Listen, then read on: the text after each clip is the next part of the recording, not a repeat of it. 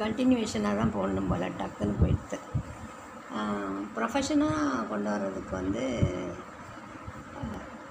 நமக்கு வந்து அந்த மாதிரி நம்மளுக்கு இல்லை. ப்ரொஃபஷ்னலாக கொண்டாடுற அளவுக்கு ஆளை எம்ப்ளாய் பண்ணி கொண்டாடுற அளவுக்கு நமக்கு வீட்டில் சப்போர்ட்டோ இல்லை நமக்கே அந்த கான்ஃபிடென்ஸு பத்து பேரை எம்ப்ளாய் பண்ணி ஃபைனான்ஸு டிவோட் பண்ணி அந்த மாதிரி செய்கிறதுக்கு கொஞ்சம் தயக்கமாக தான் இருக்குது இருந்தாலும் நம்ம ஹாபி மாதிரி செய்யலாம். பர்ஃபெக்ஷனாக கற்றுக்கணுன்றதுக்காண்டி அங்கே அங்கே போகிறேன் வேறு என்ன? இன்றைக்கி வந்து நான் இன்னும் காலையிலேருந்து எனக்கு அப்படியே நேரம் போயிடுச்சு. பேங்க்குக்கு போனதுனால அப்படியே நேரம் போயிடுச்சு. ஒரு ஃப்ரெண்டுகிட்ட வேறு கொஞ்சம் நேரம் பேசிகிட்டு இருந்தேன். அதில் வேறு எனக்கு கொஞ்சம் நேரம் போயிடுச்சு. இனிமேல் தான் ஏதாவது புக்கு எதுவும் படிக்கணும். த்ரீ ஓ கிளாக் ப்ரேயர் பண்ணுவேன். அதுதான் எனக்கு ரொம்ப சந்தோஷம் கொடுக்கும்.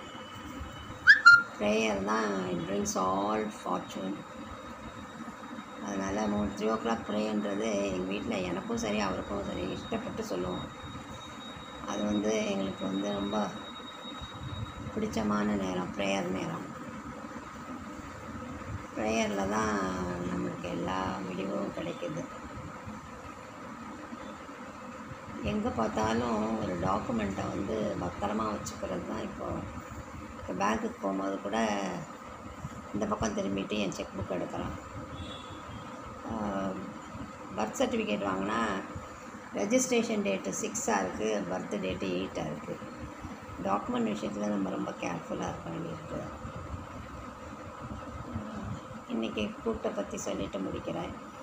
கேரட்டும் பீட்ரூட்டும் பாசிப்பருப்போட சீரகம் போட்டு மிளகாய் காரம் போட்டு குக்கரில் வேக வச்சுட்டு ரெண்டு ஸ்பூன் தேங்காய் ஒரு தக்காளி போட்டு ம மல்லித்தூள் போட்டு வெங்காயம் கடுகு தாளித்தா ஒரு பீட்ரூட் கேரட் போட்டு அதுதான் இன்றைக்கி மற்றபடி இன்றைக்கி வந்து டெய்லரிங்கில் தான் இருக்கேன். தேங்க்யூ